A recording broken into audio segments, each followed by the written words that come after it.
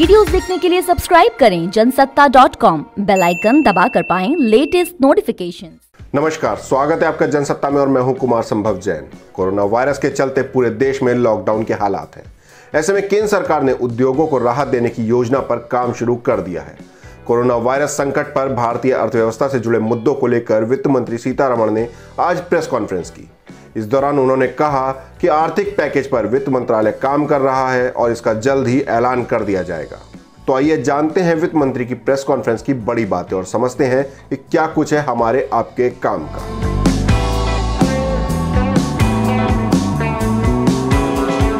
वित्त मंत्री निर्मला सीतारमण ने वित्त वर्ष 2018-19 के लिए आयकर रिटर्न भरने की आखिरी तारीख बढ़ाकर 30 जून 2020 कर दी है। अभी यह समय सीमा 31 मार्च 2020 थी। इस वित्त वर्ष में आईटीआर पर लेट पेमेंट्स के लिए ब्याज दर को 12 परसेंट से घटाकर 9 परसेंट कर दिया गया है।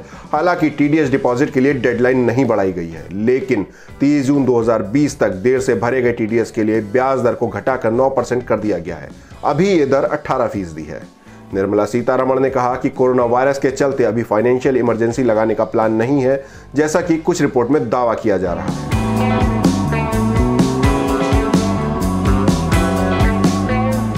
वित्त मंत्री ने पैन आधार लिंकिंग डेडलाइन को भी 31 मार्च से बढ़ाकर 30 जून 2020 कर दिया है। विवाद से विश्वास स्कीम को भी 30 जून 2020 तक बढ़ा दिया गया है।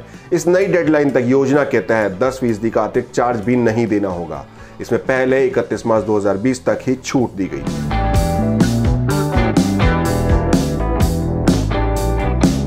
वित्त मंत्री ने कहा कि मार्च, अप्रैल और मई के लिए जीएसटी रिटर्न भरने की समय सीमा को भी बढ़ाकर 30 जून 2020 कर दिया गया है। पाँच करोड़ रुपए से कम सालाना टर्नओवर वाली कंपनियों को लेट जीएसटी रिटर्न भरने पर कोई ब्याज लेट फ़ीस या पेनल्टी नहीं देनी होगी। इससे ज़्यादा टर्नओवर वाली कंपनियों पर पहले पंद्रह दिन तक कोई लेट फ़ीस या पेनल्टी नहीं लगेगी, लेकिन पंद्रह दिन के बाद ब्याज पेनल्टी या लेट फ़ीस नौ फ़ीसदी की दर से देनी होगी।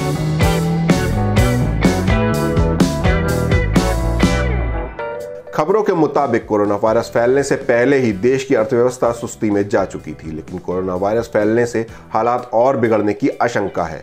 इसके अलावा कई राज्यों में कर्फ्यू और करीब करीब पूरे देश में लॉकडाउन जैसे हालात ने औद्योगिक गतिविधियों को ठप कर दिया है।